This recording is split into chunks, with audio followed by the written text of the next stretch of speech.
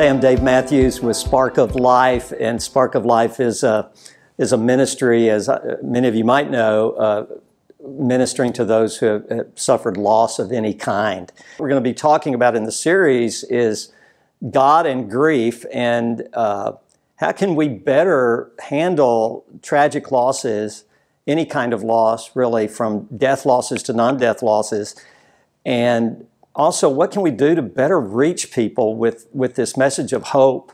Uh, because at Spark of Life, our mission statement is to help others find hope after loss, any kind of loss. Here's the number one thing about God that they ask Where in the world was God in the midst of all this? Why did He let my loved one die or cause my loved one to die?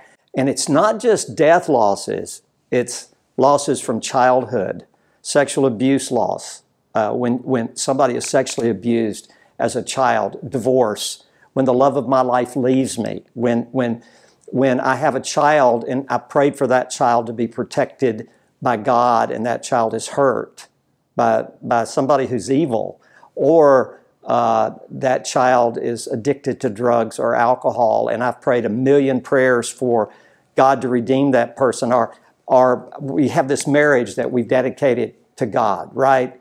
And then my spouse leaves me for another person, for example, or they just don't love me anymore. And that's a loss. That's a big time loss. And then COVID comes in, and we have all these other losses that complicate things.